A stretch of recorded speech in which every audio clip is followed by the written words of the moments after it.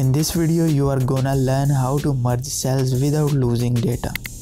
Let's say you have first name and second name and you wanna merge them in one cell. What usually we do is to simply click on merge and center. But in this case it's not gonna work as we have different text in both cells. If we use this method, it will keep only the upper left value which is first name and second name will be lost.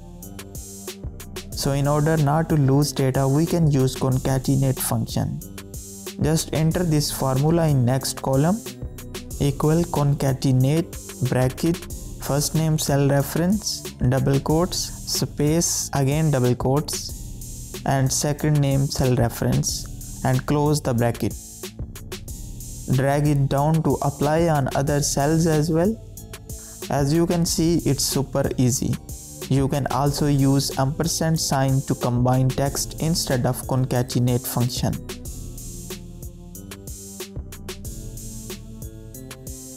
If you don't want these columns, just copy this and paste as a value. Now you can delete these columns. So that's all guys, hope you will find this useful. See you in next video, bye bye.